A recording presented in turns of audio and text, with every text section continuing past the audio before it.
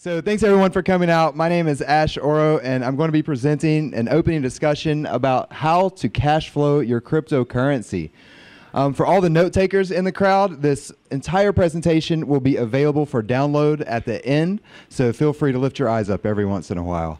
Um, so just to give me an idea on who is here, currently who owns any type of cryptocurrency, maybe Dash or Bitcoin, Ethereum, Litecoin. All right. Keep your hands up.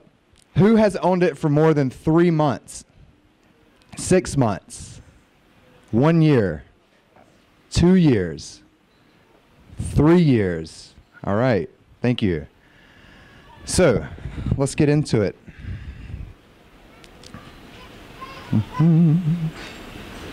All right. So, who am I?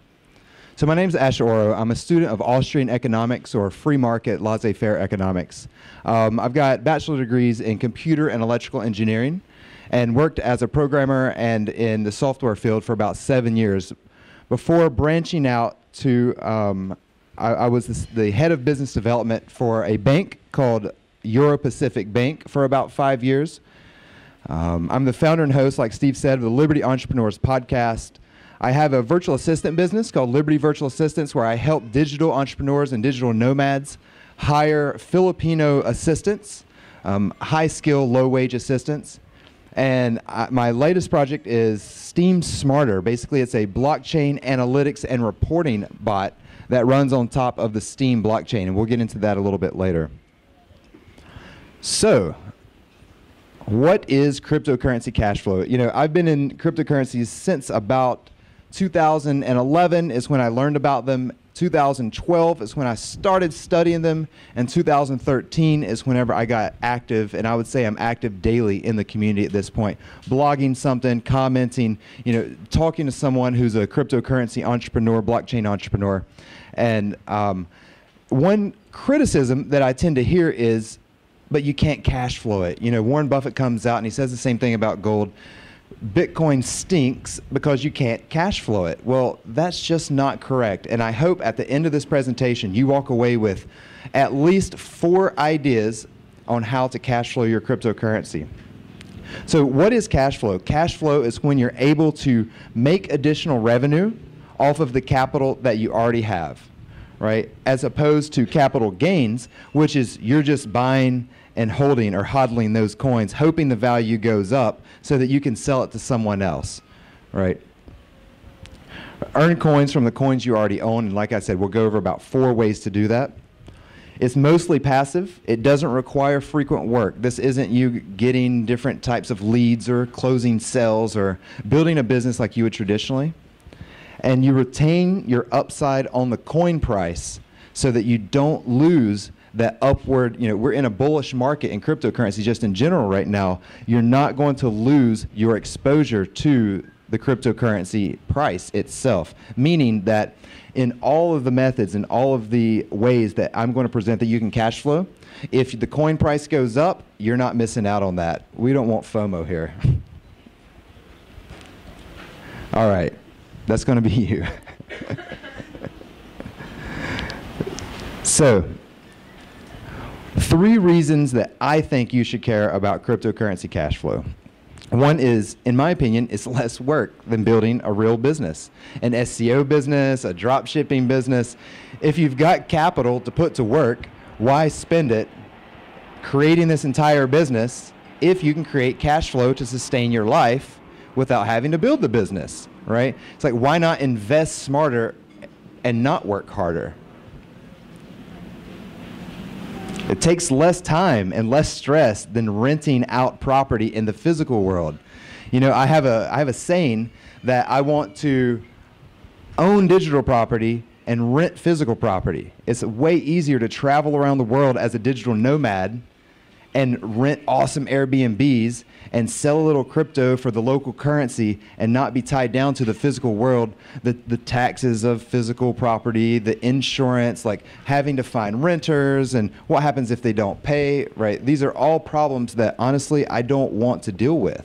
And so you don't have to deal with them in these cryptocurrency cash flowing opportunities. And like I said earlier, you're still going to make money on your money, right? So even if your coin price isn't going up, let's say you had Bitcoin and it just stayed at $10,000. Well, what if you were making a couple hundred dollars a month and Bitcoin just stayed at $10,000, right? You're still bringing in revenue. You're still bringing in income without thinking like, oh man, I wish, you know, come on, cryptocurrency, come on, Bitcoin, move up, go somewhere. Like, I need to sell this later. It's not necessary. So, you know, I think those, for me personally, less work, less time, and more money, those are very appealing. Okay, so now we're getting into it. Four ways to cash flow your crypto. These are what we're going to go over. One is receiving airdrops and forks. Does anyone know what a fork is, or has anyone been a part of a fork? All right. Hosting masternodes. How about masternodes? Anyone heard of masternodes? All right. Staking coin for dividends. This is similar to stocks. Anyone having staking coins that they're getting paid out on? All right, just a couple. And then this is my favorite, and probably the, less under, the least understood, is delegating your social influence. Anyone have any clue what that is? Delegating social influence. Yes, I stumped the entire crowd. We're good. All right. So, let's go about airdrops first. An airdrop is basically when a cryptocurrency company wants to develop a new app, but there's always a problem. You have to distribute your tokens somehow. Some in in some cryptocurrencies like Bitcoin, it all goes to the miners. They distribute all the tokens to the miners, right? In other cryptocurrencies, some of it goes to the miners and some of it goes to influencers, or it, they have different ways to pay out.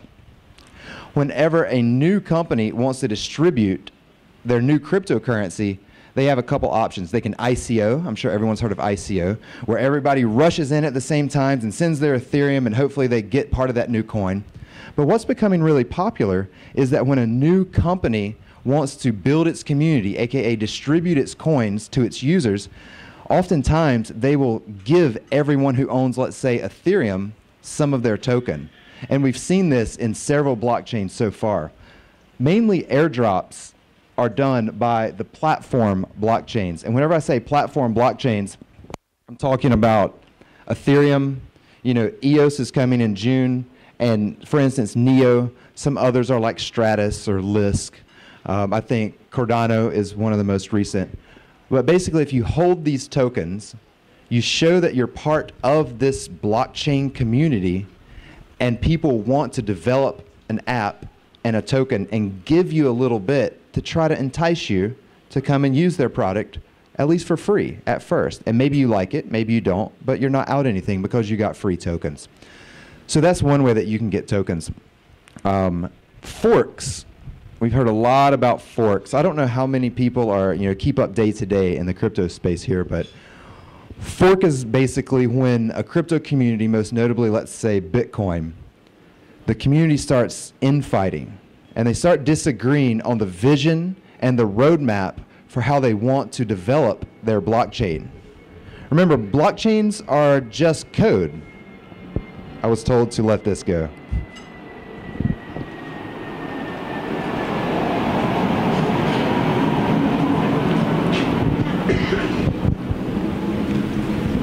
So, what happens? What happens whenever you have a community and it disagrees fundamentally on something? Right? Well, you need a way, you need, you need arbitration. You need a way to settle your differences. And in some of these cryptocurrencies, you don't have that. Right? You don't have any way to settle your, your, your differences. B- Bitcoin and Ethereum are most notable. Has anyone heard of Ethereum Classic? And what about Bitcoin Cash?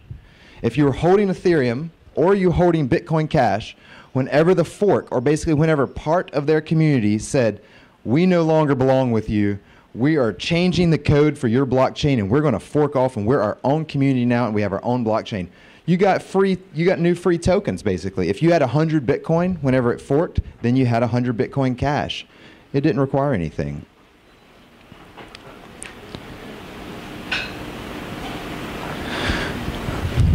All right proof of stake.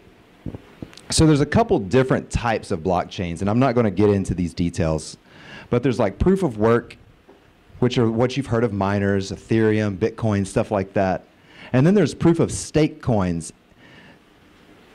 The 22nd on proof of stake is that instead of having these huge mining facilities around the world to secure the blockchain, you stake your coins, or it's kind of like a bond or a CD. You kind of tie them up for an amount of time. And that's what secures the blockchain.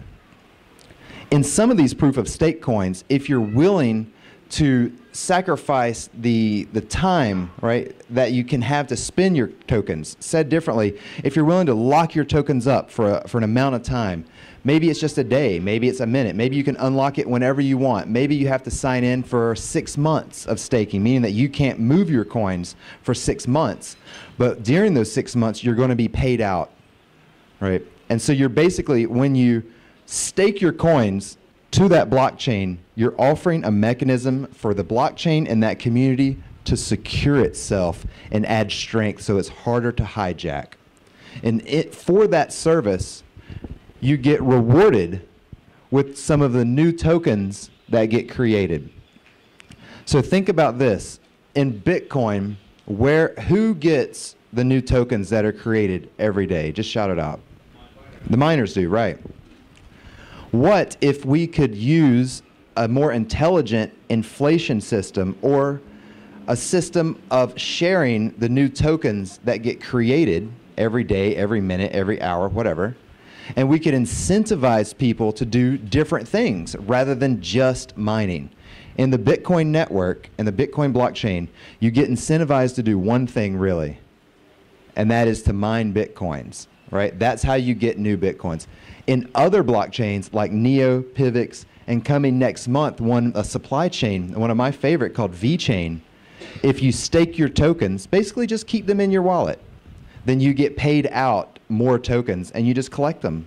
I mean, it's literally like having a stock, like having Apple stock or IBM stock, and then giving you more stock over time. It's no different than staking tokens, except that unlike a stock, you don't actually know that you own that stock. It's in a clearinghouse somewhere in some big bank, probably in the United States. With cryptocurrencies, you know that you own those tokens, and that you're and that whenever you get paid out, it comes instantly to your wallet. You know, this is this is one of the easiest I think to comprehend, and one of the easiest to like action because Neo is my favorite personally for this. I have staked Neo. You just download the Neo wallet you shift some of your bitcoins, for instance, into Neo, and then you'll just continually, slowly get payouts. And I don't have a percentage APR for what those payouts are, but I'm sure you can look it up. All right, master nodes. So I know I keep going back to this Bitcoin example is because you know it's the first and it's currently the biggest and baddest. Um, in Bitcoin, you can run a node, but you don't get paid for it. Running a node means that you you run the Bitcoin software on your computer and it takes up your time and it takes up your, your electricity and it takes up your focus. And why do you want to do this if you're not getting paid? There are some blockchains that if you're willing to do that effort and run a node, then they're just going to pay you. They pay you out for the service. Again, it comes back to what are you giving the blockchain and what is the blockchain giving you? Right? In this sense, what you're offering the blockchain is additional security. The more nodes that you have in your network, the more decentralized and the more secure you are. So there are some intelligent blockchains that pay out some of the new coins by two people who run nodes, right? It's really that simple. You're offering security, you're offering a service, they're paying you out for it. It's not that different than staking, but master nodes typically require a minimum amount of coins to stake and a minimum time that you stake those coins. A little bit off topic here, I also find it interesting that master nodes they basically show that you bought in to a community. Whenever you hear blockchain from now on, think think about the term community as well because that's where this is going. I've you know I've been in this space since 2011, and the longer that I'm in it, the more I realize that a blockchain is only there to support a community. The community is where the value is, right? The blockchain is just the way for a community to record history. So whenever you buy in, let's say Dash, I can remember when a Dash Masternode cost $7,000 and I didn't buy one, and I kicked myself frequently for it. But right now, a Dash Masternode costs 1000 Dash, and that's about uh, $800 a Dash, so it's an $800,000 investment now. January of last year, that was about a five to $7,000 investment. And it pays you seven Dash every single month, right? So think about this. If you were privy to the idea of masternodes and you bought a coin that was masternode compliant and you started staking it and back then you were getting out seven dash a month but seven times seven you know that's not that much cash now that dash has rallied to $800 that smallish investment if you were educating yourself is now turned into seven times 800 not bad you could definitely do a bit of traveling live really well in Chiang Mai on that type of cash. But remember, this masternodes do require some type of setup, right? You, you do need to have some type of IT background. If not, there are servers, services out there that can help you set it up. But this is going to be one of the more um, upfront intensive ways to cash flow your cryptocurrency. There's a really cool website, masternodes.pro, that you'll want to go to. This is basically a website that lists every single masternode coin and blockchain that we currently know of. It says what the current price of the token is, what the current, um, how many of the tokens it takes to create a masternode, what the percentage payout they want to offer, um, how much that means per year for you if you own one masternode, how much per month that you get paid out. If you're interested in this type of cash flow, basically you're, you know, you're just setting up a server and instead of running websites, you're running a blockchain and you get paid out on it. But it's masternodes.pro. Some notable coins here. We've talked about Dash. Uh, Pivx is another one. Pivx is a clone of Dash, so you'll see that. I don't know how many how many tokens Pivx takes, but okay. This, this has got to be my favorite, and in my opinion, the best APR, the best return that you can find for cash flow in the entire crypto space right now. So we're talking about delegating your social influence, and this is really only one blockchain that currently allows you to do this, um, and that blockchain is Steem. There are some competitors to Steem that could give this opportunity, but they're so small that Steem is the really the only blockchain in town that allows you to delegate your social influence. But what is social influence? And what is social influence in terms of blockchain? Has anyone heard of Steem? Oh wow. Okay. Jesus. Has anyone posted on Steem? And has anyone made more than $10 on Steem? Okay. Cool. So basically, Steem, we're building on this idea of staking your coins, right? To stake your coins means that you're showing that you're a part of the community. You're showing that I'm going to put this capital that I have, I could invest this capital in anything. Let's say you have $10,000. You, you could buy clothes with that. You could go out and blow it on food and alcohol. You could invest in stocks. You could buy cryptocurrencies, right? You could do anything you want with that $10,000 if you happen to buy something like Steem and then you stake it or you lock it in, right, to secure the network, then there's ways that you can be rewarded for proving that you're part of that community. In Steem, whenever you stake your tokens, they call it Steem Power, right? Think of like a little engine or something. Whenever you stake your Steem tokens and turn it into Steem Power, what that does, I know it's getting a little bit complicated, and I will stop after this and take questions because I think this is your best opportunity. What happens is whenever you power up your Steam tokens, you go on the platform, and Steem is basically a social media site. Think about Facebook, except when you upvote someone, there's a dollar reward associated to it that you don't pay but you tell the blockchain to allocate out of the new coins being created. And that, you know, I've been using the word inflation for that. For me, inflation is an expansion of the money supply.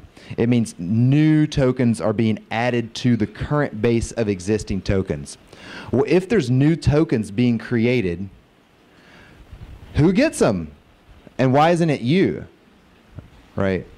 If there's new money being created, somebody's getting it every single day. And if you're not getting it, then figure out how to get it. And that's what I hope I'm doing here. So whenever whenever I log on to Steem, maybe I'll maybe I'll post something and somebody will upvote me. Maybe it'll be worth one cent. You know, maybe they have a hundred Steem power. And then somebody else will upvote me. Maybe it'll be four cents, right, that I'm going to get paid out in new Steem. And maybe they have 200 Steem power. And then somebody comes by and upvotes me and it's worth $50 because maybe they have 30,000 Steem, right? The more Steem you have, the more ability to influence the blockchain payouts, all right? I, what you can do is you can delegate or lease away that influence. So let's say you have 10,000 steem power. And I don't have exact calculations here, but I think that that's probably going to give you about a $5 upvote on Steem. So if you have 10,000 Steem power, you're going to go onto Steem, and there's an article about kittens riding unicorns that you just freaking love, and you're going to upvote it, and you're going to allocate $5 of the new available Steem that's going to come from the blockchain inflation to that author. It doesn't come out of your pocket. Other people are willing to pay to temporarily use your blockchain or your social influence to bolster their own account and to build and reward and support their own community and following. All right, I'll say that again. On the Steem blockchain, if you have Steem power, basically you've staked your Steem tokens, which gives you influence over the inflation. I know this is complicated. Other people are willing to rent that from you, kind of like renting a house from someone, right? Or kind of like renting a car from someone or paying somebody to come and blog for you. Somebody is willing to pay you to temporarily utilize your steem power. And why would they do that? Why would they do that? Shout it out. They can have more social influence. They can build more credibility it could be a greater reach as well. And think about this. So I have a podcast. If I if I post my podcast on Facebook and people are commenting and they're loving it, how can I give back? How do I give back to these people? Do I like send them a t-shirt? No, I'm not in a t-shirt business. On Steem I upvote them. There's 10 cents for you. There's 25 cents for you. Oh man, th- this this chick had like an awesome reply to my podcast, how it like changed her life. Here's like a ten dollar upvote for you, right? This guy shared it with all these people. Here's a five dollar upvote for you. It's not coming out of my pocket. It's because I have so much influence in in the in the community that I can direct that steem inflation to anyone that I want. So if you come in and you have a brand new podcast and you don't know, I mean, you don't have a lot of SP, you can rent it from me and start paying out your community. Would you be more or less inclined to comment, follow, share somebody's podcast that maybe you could make a couple bucks for, especially if you're around the world and all, it takes a couple bucks to live a day? Or would you do it on Facebook where maybe you get 10 likes? Put those 10 likes in the bank. All right. So I'm going to go into a little bit detail, so just about the idea of STEEM and STEEM delegation, because I'm going to get into a little bit more nitty gritty after this on, on step by step how you do this, how you could do this right now. Yes. It's actually from the pockets of all the people who own some Steem, because it's the inflation that rewards the people. So like on the investor perspective, kind of hard to invest in Steem if you're not really active on it because you're the one who's going to lose money on it as the value is. Uh, right. There's a lot of inflation for that. Right. There's another thing is uh, I don't know yet how much uh, Steem community takes on uh, the shares about like what they create the inflation rates how much like if it's 20% for them or other Right. stuff. So Yeah. So, so the question was, or the, or the, the statement was, if there's new coins being created, aka there's inflation, and somebody's getting them, well, somebody's paying for that. There's no free lunch, and that's exactly right. Inflation typically dilutes the purchasing power of the of your currency. Even think about like government currencies or fiat currencies. If you're holding U.S. dollars in your pocket and the government is printing a whole bunch of new dollars, then the dollars that you have in your pocket are theoretically becoming less valuable. More money in the system chasing the same amount of goods, then your money is going to devalue. And the same thing in cryptocurrencies as well. If you're holding Bitcoin, guess what? There's new Bitcoins being printed or being mined, being created every single day. And if no new capital came into Bitcoin, then yes, your Bitcoins would be worth less. But since we're in such a bullish market right now in this new e commodity asset class, there's so much more money coming into these cryptocurrencies than new, than new coins being created every day that the value can still rise even with inflation. So even, even when you're paying other people out, from the inflation, then it doesn't mean that everyone else is losing purchasing power because if you know if more money is coming in and more people are buying Steem, which is currently what's happening, then you can still keep your same amount of purchasing power while having new coins come into the system. And this is the same for every coin for the most part, right? Unless unless a coin is 100% pre-mined, which there's only like Augur and I don't know some of the other ones, but every coin that you hold and every dollar bill and every physical token that you hold that you keep in your pocket is is being devalued by your government every single day. The difference is with the blockchain, you know exactly what the inflation rate is and you know exactly how many new coins are being created. Whereas when you hold government currencies, you have no clue how much new currency is being created or who it's going to. You don't know the beneficiaries. With blockchain based economic systems, you know both. You can tell who the new coins are going to, how many are going to them, and how many coins in general are being created new every day, every hour, every month, etc. Great question. All right, let's keep. All right, so this is literally the step by steps on, on how you figure out minnowbooster.net. Minnowbooster.net is the basically the exchange that you use to delegate your Steem power out to someone else. I think Steem is around $6 a coin right now. So let's take some of these examples. You'll see that you literally just go to minnowbooster.net. And I recommend maybe not now, but now's probably fine. You go to minnowbooster.net and you click on the marketplace. These are people who are actively trying to buy Steem Power from someone else.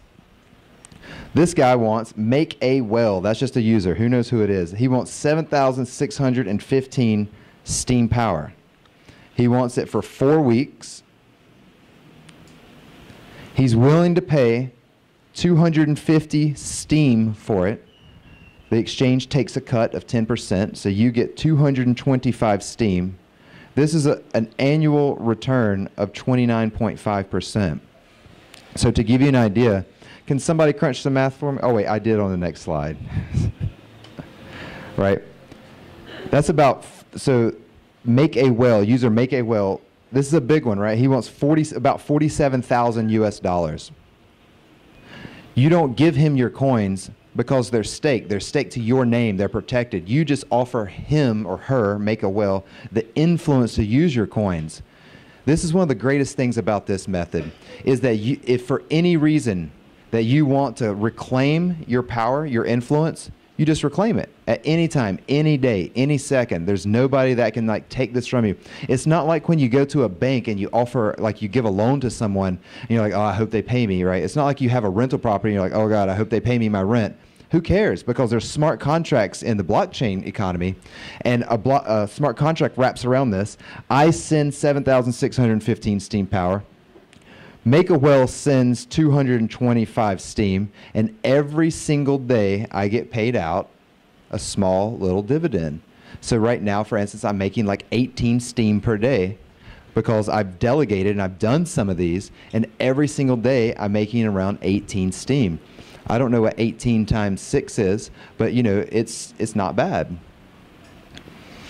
There's so maybe you don't have forty-seven thousand dollars to delegate out. Well, there's people that are looking for 300 SP, right? 300. Oh, uh, I use the example 487.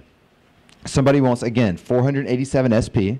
Maybe that's going to increase their upvote by a dollar, let's say. Whenever you lease this SP from me, your dollar, I mean, your upvote is going to be worth instead of two cents, now you can give out a dollar and two cents. That's going to attract a lot more people to your blog or your podcast or those traveling around the world videos or whatever you've got you can more quickly build an audience and a community around you. You know that that book, A Thousand True Fans. Well, this is a great way to like start reaching out to those fans because you can. It's it's a two way value. You can reward them back. This is a person called Minnow Votes. They won about three thousand dollars U.S. dollars worth of steem power. This is only a two week contract and they're willing to pay 12 steem for it over two weeks.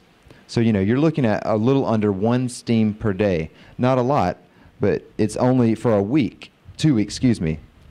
And that's 41.9%. People that, people that lease, uh, I mean, people that buy houses hope to get, you know, they hope to get 10 to 20% per year and that's before you start factoring out what happens if your dishwasher breaks or you got to pay the guy to mow the lawn and you got to get your roof fixed and what, hap- what happens if your renters don't pay you and this insurance and stuff like that. So I recommend everyone check out minnowbooster.net. For me, it's the best and the easiest way to start cash flowing. It, it's my favorite way. All right, so let's wrap up here. Yes. Okay, great question. So the question was, what about a bot system that you just upvote all your own posts? Right? You go and you're like, hey, I love cats, and you just vote up your own post. And if you rent some steem power for me, let's say a dollar's worth, then every time you vote for yourself, it's a dollar, dollar, dollar. And over time, it'll go down in power, but it builds back up just like a health bar. If anybody played like Mario or something growing up, you know, you get hit, you lose a couple hearts, and it builds back up over time. That, that's how your voting happens. But you could, you very well could. You could, and there are people that do that. You could write a bot, and this isn't too passive at first, but you can write a bot that just goes through on the Steem blockchain and literally just upvotes all of your own posts and all of your own comments, and it, you know, you just make that money it's frowned upon because that's remember you're part of a community. So people look for that type of stuff and then they can come in and downvote you which takes away your rewards. So there is a, a good and bad actor you know uh, relationship there on the blockchain and on in the steem community. But yeah really good idea if you can do it you got to write the bot, and then you got to keep keep your reputation high enough, where guys don't come through and they're like, "Oh, look at Bob. He just wants to upvote himself. What a jerk! Downvote, downvote, downvote." All right, so we've got receiving new coins via airdrops and forks. We've got hosting master nodes. Um, we've got staking coins for dividends, kind of like everyone's familiar with stocks and then we've got delegating your social influence specifically on the Steem blockchain so that you can passively cash flow, you know, make that couple grand that you need every month so you can kick the job goodbye, travel the world, live where you want to, find some places. If you're making four grand a month in passive passive crypto cash flow, just go and find those places around the world where you can live on two to four thousand dollars a month and you don't have to work. So how to get started and what are your next steps? Well, I think you need to, you know, go research some of this stuff in a little bit more detail and maybe subscribe to my podcast, wink wink, and you can start figuring out what is your best option. You know, if you are IT savvy, maybe creating a masternode is best for you. If you've already got capital, if you already have ten to twenty thousand dollars at your disposal and it's not invested, you could buy Steem and you could start staking it and delegating it, right? You could buy Ethereum and hope that there's more forks and more airdrops and you could start cash flowing that way. Then you need to buy the relevant cryptocurrency. You have to have the token to interact with the blockchain to get started. You can't do this without buying into that community token. You also need to implement the strategy. This is why I didn't go into great detail on some of the other ones, like master nodes, because I've never set up a master node. For me, it wasn't my best strategy, right? I figured out that I could have a much easier, faster, and better reward with Steem. And then you need to start collecting those coins. So that's it. Uh, if you want to stay connected, learn more about entrepreneurship on the blockchain, you can follow me on Twitter at AsheOro. Uh, you can scan these with your phone, and it'll take you. I think that one takes you to my website. It may just be the RSS feed for the podcast, and you can download this presentation by scanning the other QR code. I will open it up to questions now. I think we had one back in the back. Yeah, so I was just um, wanted to ask about the economics. Oh, let, us wait on the microphone here.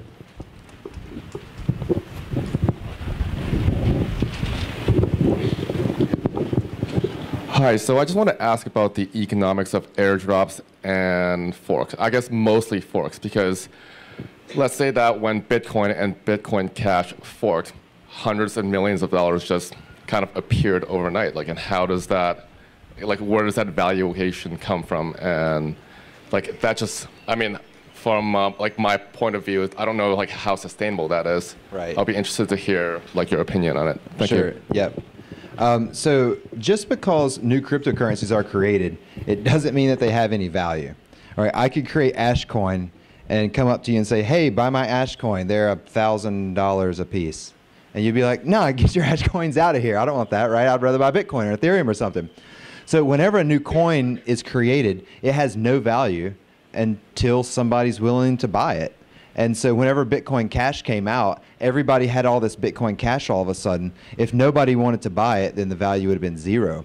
But there were intrinsic things about Bitcoin Cash, particularly, we're getting into details here, but particularly the larger block size that people thought were more valuable than the old Bitcoin. And so they were willing to sell some other coin and buy this new coin because they thought subjectively that it had more value than the coin that they were selling. So if like Bitcoin you know, gold or something comes out and nobody wants it, then the coin's just not going to have any value. You're still going to have those Bitcoin golds in your wallet, but you know nobody's going to buy them. And just for the record, Bitcoin gold's probably a couple hundred bucks right now. So, and that was another Bitcoin fork. We've had Bitcoin Cash, Bitcoin Gold, Bitcoin Diamond. Uh, you know, I don't know all the. Any other questions? Yes.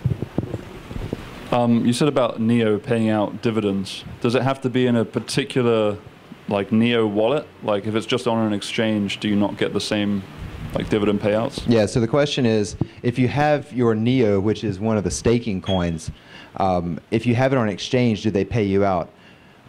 It's a good question. I, I, honestly, I don't know. Um, some do, and then some may not. You know, just like if you had Bitcoin on an exchange and the Bitcoin Cash fork came, you know, when you have your coins on an exchange, you don't really own your coins anymore. They do, and so they have the option to pay you out or not. Uh, if you're going to implement any of these strategies, I recommend you having your coins in a wallet that you control. Yep. And just another comment. I think uh, yours.org is similar to Steemit, but with Bitcoin Cash rather than Steem. Yeah. So yours.org uh, was created by a guy named Ryan X Charles. I interviewed on the podcast maybe around episode 36 or so. Um, but they don't have their own blockchain, whereas Steem has the inflation that pays out, pays out.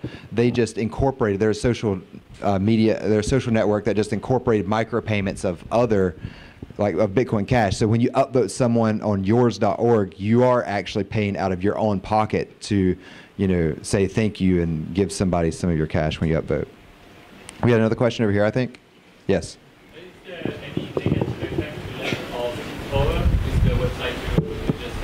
So the question was, are there any negative effects of loaning out your steem Power using minnowbooster.net? Um, I think there's one, and that is that they take 10% as as the exchange, basically, as their cut for anybody that they match you with. But what you get in return is they create the smart contract that you and the other person come into. And so you never have to worry about them not paying. They pay every single time because MinnowBooster requires them to front 100% of the Steem currency at the time that the contract is created. Yep. Any other questions? Yes. Yeah, I wonder who, for whom is it better to try to earn Steem versus buying it and renting it out? All right, great question. Nice to see you again. I didn't go over uh, how you can make Steem as a content creator, and I guess I will just really quick. I know I'm over, so I'll, okay. Um, so on the Steem blockchain, it's if you go to steemit.com, that's another website that you should familiar yourself with. It's not it it needs some work. I mean, you're not going to log into steemit.com and it's not going to look like a Reddit or a Facebook or something like this. It's still very young. Social media on the blockchain, this was the first social media platform ever created for a blockchain. So it's still a little rough around the edges, but you can go and write your blog. You can go and share your podcast, right? And if people like what you're doing, they'll upvote you and pay you out. You can even upvote comments. So if there's an author that you really like, then you can leave a really awesome comment. And if they find it valuable, or if the community finds it valuable, you know those upvotes are coming, and uh, you'll get paid out of some of the steem. You can, when you get paid out that steem as a content creator or a curator, you could go back to Minnow Booster and delegate it out, or you just keep staking it, increasing your own influence and voting for your community, voting for yourself every once in a while, and doing that, right? There are some apps that have been built on Steem, one most notably called steemvoter.com steemvoter.com, which is an auto vote feature. So if there's some authors that you really, really like, then you go and create an account on Steem Voter, and every single post that that author creates, you just automatically upvote it through this app, right? And so that's kind of like a little standard basic income there, but it's voluntary from a blockchain without having to redistribute wealth through the force of the government. Any, any other questions? Yes. So does it make sense to move all of your content, also copy to Steemit, just, just to have it there? Uh, for example, podcast, uh, videos. Right. So the question was, is the incentive there to just repurpose or just put all of your content that you create over to Steem? Yeah, I think so. Yeah, I think you do it all.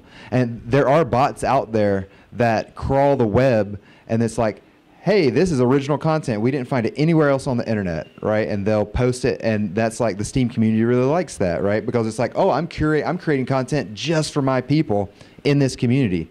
There's also other bots like plagiarism bots, right? We all heard about plagiarism in high school and college. And we had like the old teacher up there trying to figure it out. Well, now there's just bots that crawl the web. If you post a copy of my podcast on under your account, guess what? The plagiarism bot is going to come and say, "Hey, you know, we gave you a downvote because this isn't your original work." Or they'll just give you warnings like, "Hey, we found this out on the internet, and you know, if it's yours, good. If it's not, then please give credit to this website." So. Where to learn more about bots? Uh, so a really awesome website is steemtools.com. I think it's steemtools.com where it'll list pretty much every bot and every app that has been developed on the Steem blockchain. And I didn't share it right now. Actually, um, anyways, if you go to, uh, I wish I'd have created a resource page here, but it's steemtools.com. All right. Any other questions? Wrap up here. Got one here. Where are we at? Oh, okay. Yep. Go ahead. I just, uh, I'm unclear about the name of that site, somethingbooster.net. Yeah, so it's Minnow Booster. Minnow Booster. Yeah, M I N N O W. It's right up here at the top. Yeah, but I can't see that. Okay. yeah, Minnow. minnowbooster.net. And, and if you if you download the slides, it'll be in there as well. Yeah. All right. Yep, we got a question right here. Yeah, I'll, I'll post this in the uh, in the Facebook group. And I'm going to take a quick Oscar selfie here. So if everybody can like give me a good thumbs up, I think that'd be freaking awesome. All right, ready? Give me a thumbs up. One, two, three. Awesome. Thanks, guys. Okay, well, that was it. I'm Ashe Oro. Thanks so much for letting me speak today.